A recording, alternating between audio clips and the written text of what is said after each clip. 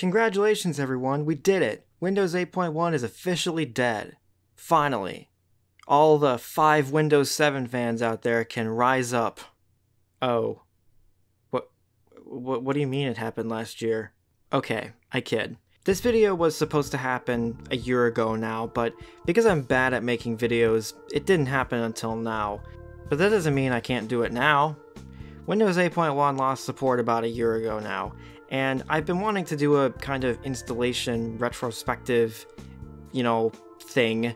So that's what today's video is. That's that's literally it. That's all I have this week.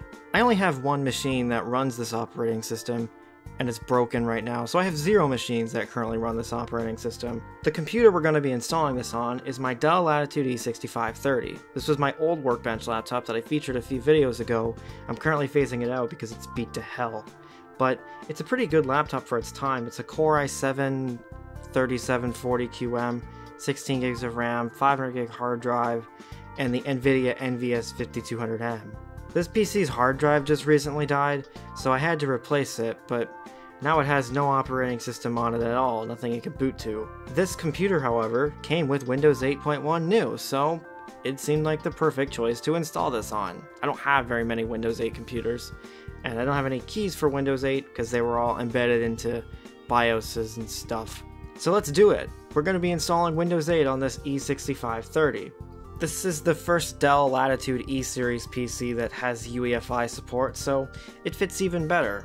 Now, again, for full clarity, this is Windows 8.1, not 8.0, although that could be a fun project for another day as well. I don't really plan on actually using this computer for anything serious, so installing an unsupported operating system on it is probably fine. It's not that big of a deal.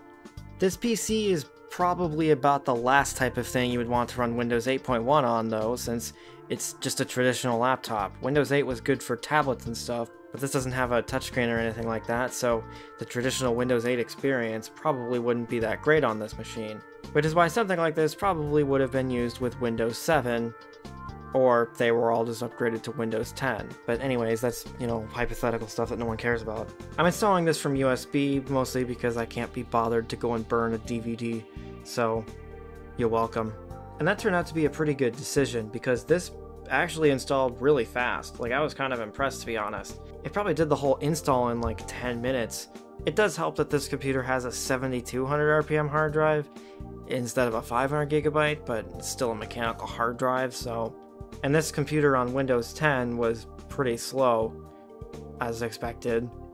But again, a short time later, we're at the Windows 8 setup screen, and this is very nostalgic. I used to use this operating system on a tablet. That's pretty much the only experience I have with it, but doesn't mean I didn't have any nostalgia of it, even though I was still a Windows 7 user. But the setup is of course pretty basic. I'm not connecting this to the internet right now, so I'm only creating a local account.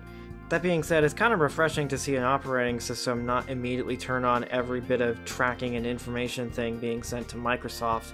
That's something we don't see anymore today.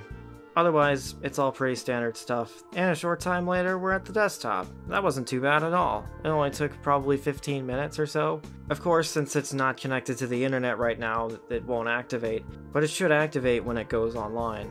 Now it's time to install the drivers. Thankfully, we have Snappy Driver Installer for that. Well, not first after enabling System Restore, just because you never know what could go wrong with Snappy Driver Installer. Otherwise, it was time to install all 26 drivers or so.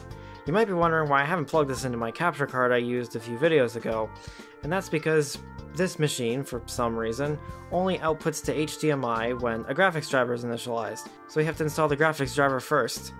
Because Dell things. Fortunately, enough of the drivers installed that I didn't really care.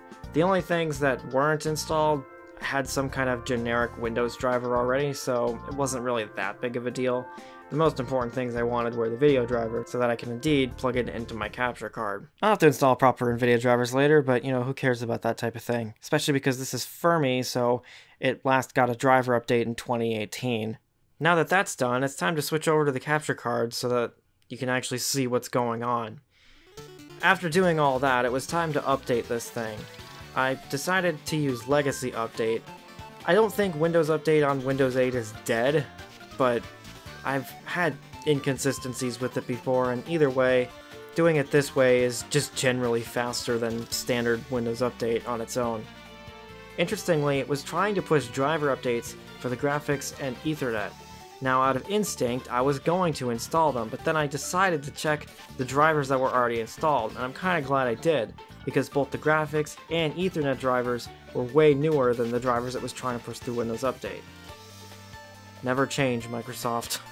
Anyway, it only took about an hour to download and install all of the updates on this thing, which is not too bad to be honest. I've been used to Windows Update on Windows 7 taking ages. The most impressive thing about all of this is I was able to install Windows, install the drivers, and install all the updates on a single battery charge. And that is the power of a 97 watt hour battery. Anyway, I was up doing something else while this was installing updates. Eventually, when I came back, it was time to restart. And that's when I noticed a problem. It ended up sitting on restarting for like an hour. It didn't do anything, so I had to force it off, and when I restarted it, thankfully it got back to doing what it was supposed to be doing, but it was still kind of strange. And a short while later after that, we were back at the desktop we were greeted by everyone's favorite Microsoft Edge. I would normally complain about this, but I could have just not installed it, so joke's on me, I guess? Anyways, it's time to get back to work. I still have a few more updates to install. I want to fully update this as much as I can, since, I don't know, there's no reason not to. And I'll probably have to just hide those driver updates because I don't want them. It makes no sense, especially with the graphics.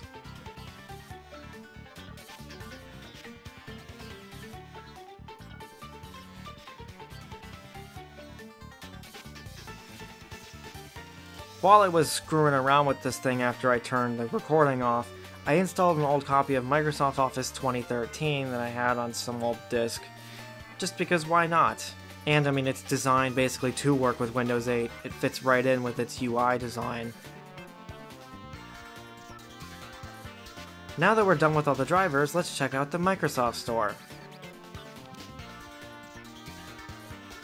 I don't honestly remember when the store shut down anymore, but yeah, the store's been dead for a long time, and on this computer, it doesn't even load anything.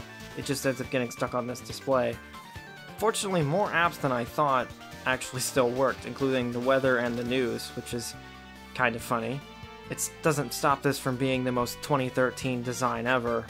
Now, I did want to install a few programs on this, just so that it wasn't, you know, super bare. So I went to Internet Explorer. Oh, apparently Microsoft Edge. Right, I forgot, you know, force a habit. I don't really care about Edge, so I just installed Firefox because it literally would not let me use IE at all, which is kind of stupid, but oh well. I can't install too much on this, and I don't really want to, but I did install a few basic things for music playing and stuff. One of them being Steam. As it turns out, it's apparently not dead on Windows 7 and 8. It just is supposed to be. What this means is that yes, in fact, it can run Peggle. Guess that's my new benchmark game on this channel. Of course, a 3740QM and a NVS 5200M is, is a way overbuilt combo for this task, but still, you gotta give it something to do. An overbuilt machine, though, is not gonna help my pegging skills get any better, though, so let's move on.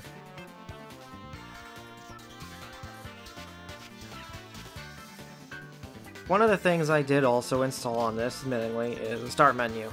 Just open shell, it's nothing too fancy or anything. Part of the problem with Windows 8 start screen is it wasn't really designed for very high resolution screens, and yeah, you can make it bigger, but still, this is only a 1600 by 900 display, and even on that, it's pretty big. And in the case of my capture card, it's 1080p, and there's a lot of stuff you can fit on the screen, but when you're trying to navigate it with a mouse, it's kind of complicated.